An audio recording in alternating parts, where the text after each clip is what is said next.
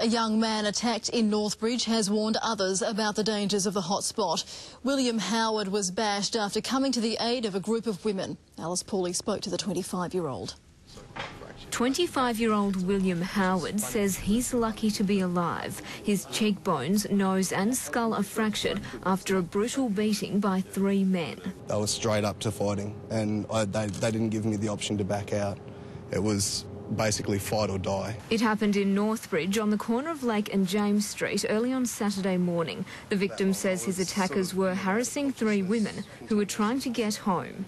Mr. Howard says those women asked him for help to get away from the men. He agreed, but that's when he was turned on.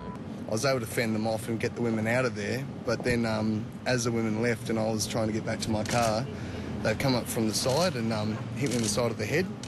Um, I'm not sure what with, whether it was a king hit or if it was just a rock or something, and uh, I've hit the ground. Police say the 25-year-old was knocked unconscious and hit numerous times.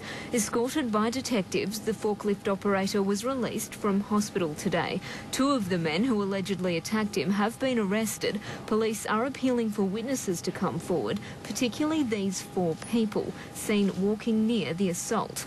The attack on Mr Howard is the latest in a string of violent assaults. Jamie Barrett was king hit only last weekend. Last night, a Facebook page was set up hoping to raise awareness and stamp out the attacks.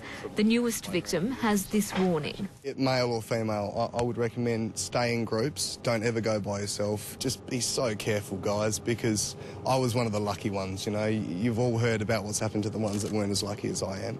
Alice Pooley, 10 News.